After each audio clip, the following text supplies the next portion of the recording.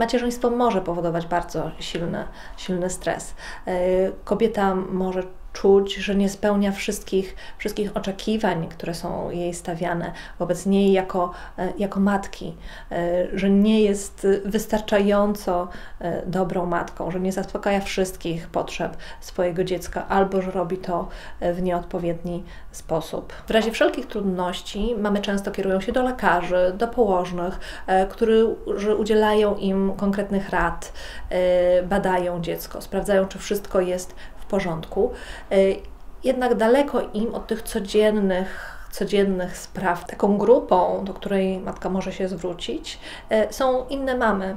One przeżywają te same problemy, te same trudności, e, albo już tam były i mogą powiedzieć, że wszystko będzie, wszystko będzie dobrze, że to jest normalne, że tutaj nic się nie dzieje, że ona może się tak czuć i ma do tego pełne prawo. Ludzie często dobierają się, łączą na zasadzie podobieństw. I tak samo mamy, widząc podobne cechy u siebie, e, podobną sytuację, e, chętniej nawiązują, e, nawiązują kontakt.